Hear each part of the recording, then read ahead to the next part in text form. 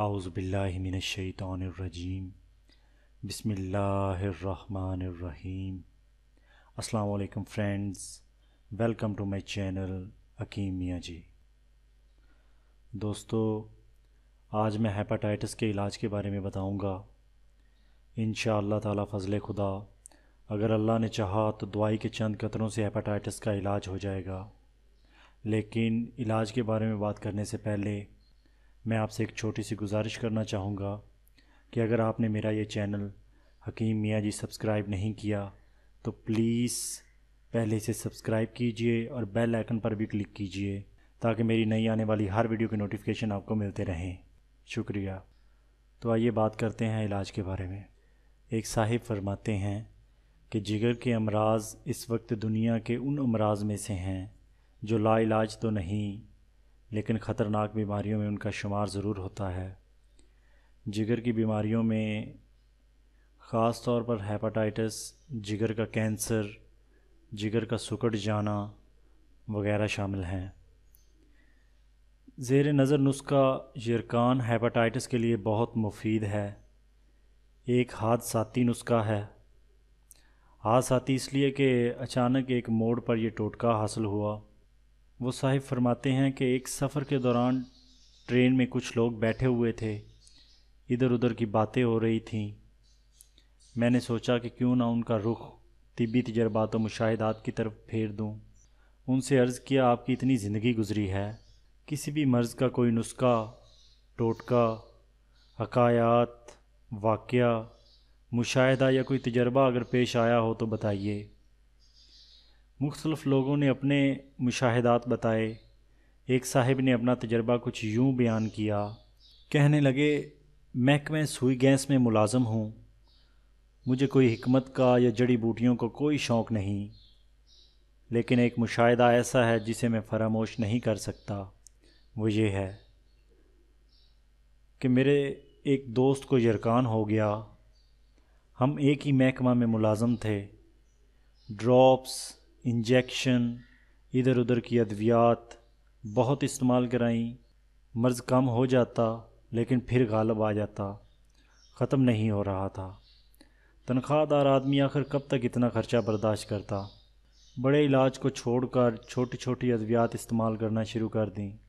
اسی اسنا میں ایک ملنے والے کے ذریعے سے معلوم ہوا کہ چیمبر لین روڈ پر ایک موچی یرکان کی دوائی مفت دیتا ہے۔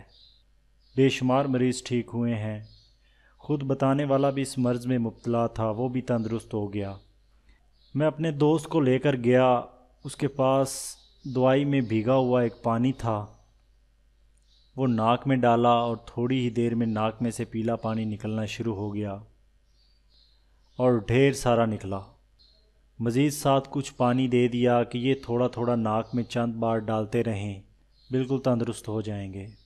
ہم نے اس موچی کی سو روپے کی خدمت کی اور ہمارا مریض تندرست ہو گیا۔ میرے ایک جاننے والے ایپٹ آباد کے حکیم ایک دفعہ دفتر آئے۔ انہیں میرے دوست کی بیماری اور علاج معالجے کی داستان کا علم تھا۔ جب انہوں نے سنا کہ ایک موچی کے علاج سے اتنا فائدہ ہو گیا ہے، حیران ہوئے۔ اسی وقت اسی موچی کے پاس گئے۔ اس نے نسخہ دینے سے صاف انکار کر دیا۔ کہنے لگا دعا جتنی چاہو لے جاؤ، لیکن نسخہ نہیں دوں گا۔ حکیم صاحب خاموش واپس آ گئے اور ایک اور انوکھی ترکیب حصول نسخہ کے لیے استعمال کی۔ ان کا سالہ ہیرون کی وجہ سے اس کے گھر والے اس سے تنگ تھے۔ موٹر سائیکل پر بٹھا کر اس موچی کا کھوکھا دکھا کر لائے کہ وہ دوائی موچی اپنے ساتھ پرانی پیٹی میں رکھتا تھا۔ اس نے ہیروئن استعمال کرنے والے کو کہا کہ تجھے روز ایک پوڑی دوں گا، لیکن اس موچی کی وہ پوٹلی کسی طرح چرا کر لے آ۔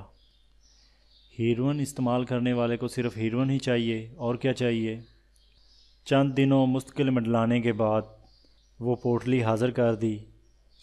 جب اس کو کھولا تو اس میں سے ایک ہی دوائی نکلی، جو کہ پنساریوں کی دکان سے بندار ڈوڈا کے نام سے عام مل جاتی ہے۔ تھوڑی سی دوائی لے کر رات کو گرم پانی میں بھگو دیں، صبح وہی پانی ڈراپس میں بھر کر یا ویسے ہی ناک میں چند قطرے ڈالیں۔ دونوں طرف ناک سے تھوڑی ہی دیر میں پانی بہنا شروع ہو جائے گا۔ یہ عمل دن میں کم از کم تین بار کریں۔ حیرت انگیز طور پر یرکان، حتیٰ کہ کالا یرکان بھی ختم ہو جاتا ہے۔ ایک نہیں، کئی مریضوں پر یہ آزمائش ہو چکی ہے۔ بہت ہی لاجواب تحفہ ہے۔ تو دوستو، اگر آپ اس علاج کو استعمال کرنا چاہتے ہیں، تو پلیز پہلے کسی اچھے حکیم سے مشورہ ضرور لیں۔ اگر وہ حکیم صاحب آپ کو اس علاج کا استعمال کرنے کو کہیں، تو تب اس کا علاج کیجیے گا، ورنہ آپ کو فائدے کی بجائے نقصان بھی ہو سکتا ہے۔ دوستو، لائک، کمنٹ اور شیئر کرنا مت بھولیے گا۔ اسی کے ساتھ حکیم میاں جی کو دیجیے اجازت۔ اللہ حافظ۔